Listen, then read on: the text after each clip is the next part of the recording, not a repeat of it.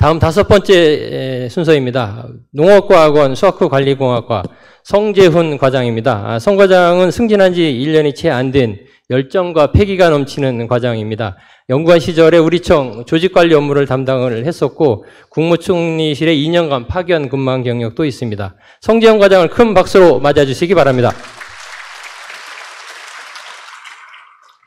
감사합니다. 방금 소개받은 성재훈이고요. 말씀하신 대로 저는 연구관 된지 10년 차, 그리고 과장 된 지 아직 채 1년이 되지 않은 초보 과장입니다. 저는 네 가지 정도를 제안을 해보고자 합니다. 첫째, 우리는 굉장히 바쁩니다. 아까 여러 번 나왔는데요. 미국에 있는 ARS, 그리고 네덜란드 와게닝겐 대학, 자타가 공인하는 세계 최고 연구기관입니다. 그분들은 우리처럼 이렇게 바쁘게 살지 않습니다. 그래도 세계 최고 수준입니다. 우리는 거의 매일 날마다 11시까지 초과 근무합니다. 우리가 주말에 나오지 않기 위해서 월요일날 하던 회의를 금요일로 옮겼습니다. 그럼에도 불구하고 우리는 직원의 18.8%가 토요일이나 일요일날 출근하고 있습니다. 그래도 우리는 Nature Science Cell에 논문 한 편 못 올리고 있습니다. 이유가 뭘까요? 제가 알기로 Science Nature Cell에 논문 주저자 한 명도 없습니다. 우리 직원 중에. 그래서 첫 번째로 제안합니다. 지금 도대체 우리가 왜 이렇게 업무에 몰입하지 못하는지, 모든 연구원들이 왜 잡일이 많다고 하는지 이걸 한번 분석해 볼 것을 제안합니다. 복잡하지도 않습니다. 네개 소속 기관 기획조정과에서 하고 있는 일, 1년치 업무만 딱 분석해 보면은 도대체 우리가 무슨 일을 하고 있는지, 무엇 때문에 이렇게 바쁜지, 없앨 일은 무엇인지 금방 나올 수가 있습니다. 제 생각에 저는요, 부기획실, 기획조정과 본청 다 근무해 봤습니다. 그 경험으로 보건데 아마도 상당 부분 일을 줄이거나 없앨 수 있을 겁니다. 이렇게 해야만이 우리가 우리 후배들에게 또는 우리 직원들에게 연구에 몰입할 수 있는 시간을 만들어줄 수 있을 것입니다. 두 번째입니다. 협업 이야기입니다. 우리 농업 문제는 대단히 어렵습니다. 어려운 이유가요. 쉬운 문제는 이미 다 해결했습니다. 이제 남은 것은 어렵고 복잡하고 까다로운 문제만 남아 있습니다. 그래서 우리는 협업이 필요하고 융복합을 해야 합니다. 이런 필요성은 있는데 현실은 어쩔까요? 우리는 우리, 우리 조직에서 우리를 평가할 때 개인 평가를 합니다. 협업하라고 해놓고 개인 평가합니다. 마치 사각 링 위에 권투 선수 둘이 올려놓고 야 싸워봐. 이긴 사람한테 상금 줄게. 그런데 서로 도와가면서 협업해봐. 똑같습니다. 그래서 두 번째로 제안합니다. 개인 역량을 조직화할 수 있도록 협업 중심으로 평가 시스템을 바꿀 것을 제안합니다. 우리가 공무원이니까요 개인 평가를 안 할 수는 없습니다. 개인 평가를 해야 합니다. 다만 개인 평가 역량을 좀 줄이고 부서와 과제 평가를 추가하자는 겁니다. 사실 그래서 협업 연구를 하는 사람이 이익은 못 봐도 적어도 손해는 안 보게 우리가 만들어줘야 합니다. 조직적으로요. 이미 우리는 어젠다에서 대과제하고 부서, 그러니까 과를 이미 일치를 시켜놨습니다. 그래서 어젠다별로 대과제를 평가하고 개인을 평가하는데 큰 문제는 없을 것입니다. 세 번째입니다. 요즘도 그런지 모르겠습니다만 무리묵 고수가 되려면 소림사에 들어가야 합니다. 길거리에서 혼자 열심히 노력한다고 고수가 되지 못합니다. 왜 소림사에 들어가면 쉽게 무리묵 고수가 될 수 있을까요? 소림사에는 자기들만 내려오는 비법, 비기가 있기 때문입니다.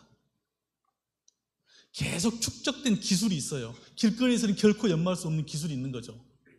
자, 우리는 어떤가요? 우리는 연구로 막 들어왔을 때 선배들이 좋은 비법서를 전수해 주셨나요? 대부분 빈손으로 시작해서 한 10년쯤 연구하면 국내 최고 수준이 됩니다. 20년쯤 하면 최고, 최고가 돼서 비슷비슷하게 어깨를 겨눌 수가 있습니다. 그리고 몇 년 있으면 퇴직합니다. 아무 비법서를 남기지 못하고 퇴직합니다. 논문 남겼다고요? 논문은 정제된 자료입니다. 그런 자료 말고 제가 원하는 것은 raw 데이터입니다. 그런 raw 데이터를 모아야 그 데이터를 분석할 수가 있으니까요. 그래서 세 번째로 선배들의 비법을 모아놓을 데이터 관리 시스템을 제안합니다. 이렇게 데이터를 모으고 그 데이터를 인공지능으로 해석을 해서 공공 서비스까지 만들어낼 수 있어야 우리가 국가기관으로 존재할 수 있습니다. 오늘 아침에 다들 일어나시면 일기 기상예보 한번, 한 번쯤 보셨을 겁니다. 공식적으로 우리나라 기상청 예보 정확도는 90%가 넘습니다. 근데 저는 제가 세차만 하면 항상 비가 와요. 제가 보기에는 50%도 안 되는 것 같아요. 그럼에도 우리나라 국민 어느 누구도 기상청을 없애자는 말은 안 합니다. 왜? 공공 서비스이기 때문입니다. 바로 우리도 그런 공공 서비스를 만들어야 합니다. 우리는 이미 2세대 스마트팜 을 만든 경험이 있습니다. 데이터를 모으고 클라우드에 올려서 분석을 해 봤다고요. 그래서 우리는 쉽게 그 작업을 할 수가 있습니다. 데이터가 쌓이 고 쌓여 기술 수준이 올라가고 후배들은 그 올라간 기술 수준에서 출발해서 세계적인 연구가 될 수 있도록 우리가 사다리를 만들어줘야 한다고 생각합니다. 끝으로 네 번째입니다. 요즘은 4차 산업혁명 시대라고 합니다. 이제 우리 조직을 한 번쯤 되돌아봐야 할 것 같습니다. 우리 조직은 1960년대, 70년대, 80년대 생산이 필요할 때 생산 중심의 조직이었습니다. 그래서 식량원, 축산원, 원예원 이런 장목 중심의 조직으로 우리가 구성이 되어 있고 그 기술을 서포트하는 농가원이 있었겠죠. 이 조직으로 앞으로 10년을 우리가 농업 기술을 선도할 수 있을까요? 우리가 누구든지 가지고 있는 이 핸드폰 사실 나온 지 딱 10년밖에 안 됐습니다. 10년 만에 전 세상을 다 바꿨습니다. 우리 이 조직으로 10년 동안 농업을 선도할 수 있을까요?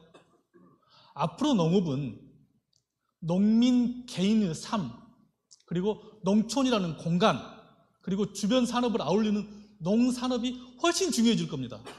근데 우리는 그런 것을 미리 대비할 수 있는 조직을 안 가지고 있습니다. 그래서 아, 더군다나 요즘은 싹두고 있는 게 복지농업, 문화농업, 치유농업 등입니다. 그런 새로운 영역을 만드는 것을 우리가 고민을 해봐야 한다고 생각합니다. 물론 당장 조직을 바꿀 수는 없습니다. 쉽게 틀어지지 않습니다. 그래서 현 제도 내에서 재배치 정원제라든가 유동 정원제 같은 걸 이용을 해서 팀이라든가 과단위를 시범적으로 만들어서 운영해 보는 것도 제안합니다. 이런 변화가 있을 때 우리 조직이 국민에게 필요한 조직이 되고 세계 최고 수준을 자랑하는 조직원을 만들어낼 수 있을 것이라고 생각합니다. 고맙습니다.